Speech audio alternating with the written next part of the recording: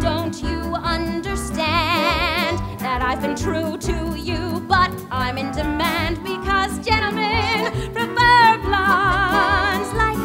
classic musical comedy Gentlemen Prefer Blondes is back in town with Smash star Megan Hilty taking her Marilyn routine to the stage of City Center to play Lorelei Lee. We're here to chat with the cast about this special Encore's concert run. Gentlemen Prefer Blondes, how's it going? Are you, you're just sort of discovering this show that a lot of people maybe don't know that well. I didn't know it that well, and I'm like so happy. It's so funny and so good, and kind of like wait. Like sometimes you dust these things off, and you're like, oh my god, what is this thing gonna be? You know, and this is like amazing. This Marilyn thing is now following you around because of Smash. So what's it like to be doing this this iconic Marilyn role? It's great. I just can't stay away from things that Marilyn's touched. Um, but the great thing is, is that Carol Channing was actually the person who originated this role on Broadway. So, and I mean, you, I can't imagine two more different ladies playing the role. And I can, I can pull things from what I'd imagine they did and, and still make it my own. Someone broke my heart in Little Rock. And I up and left old Arkansas.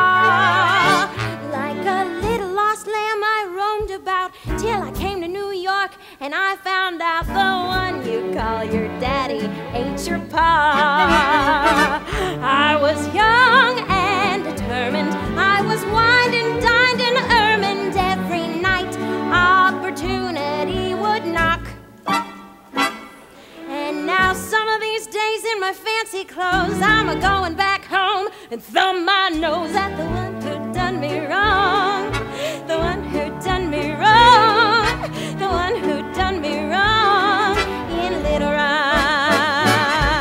It's sort of one of these madcap musical comedy, romance, adventure, drama, whatever. What is it? It's all of that. You just wrapped it up. Yeah, in a nutshell. Um, it's just got this incredible material and some of the things that make you surprised at musical theater, like take you out of your seat and just go, "What did he really say that? Did she really say that?" And make it work and make it funny and and it leads into a song and it's just celebrating the best of what you think of big Broadway musicals. Step on the gas and step to a rhythm that's classy. Hey, hey, this is the way we keep it cool with Coolidge.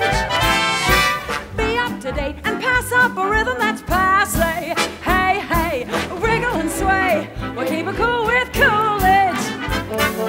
You are not the blonde this time.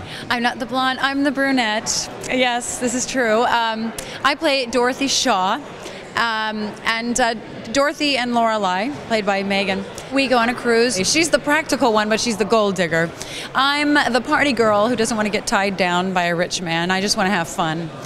And um, luckily, we both end up finding um, the loves of our lives. A lot of people know these songs from Carol Channing, right? Or they know the Marilyn Monroe movie. What's what is the stage show like? The stage show is remarkably different from the film in that it's it has more music. First off, more fabulous Jule Styne music. I've seen the movie a couple of times, and the the original Broadway show is quite different. So it's kind of cool because you're you're not going to see the same show that you've you've seen a million times. What's it like discovering this music? I mean, it's such a throwback. The score, isn't it? Oh, I love these old time musicals. They're great, and it's just fun. It just makes you feel happy. It's why you want to go to the theater and be entertained and leave with a smile on your face.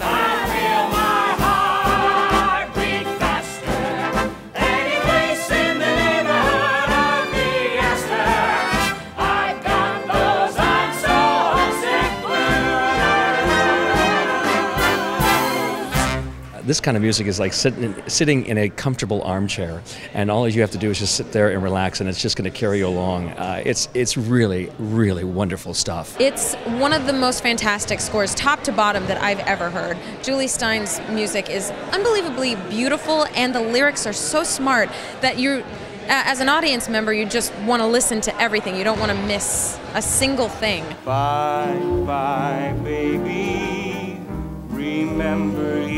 my baby when they give you the eye. Although I know that you care, won't you write and declare that though on the loose, you are still on the square?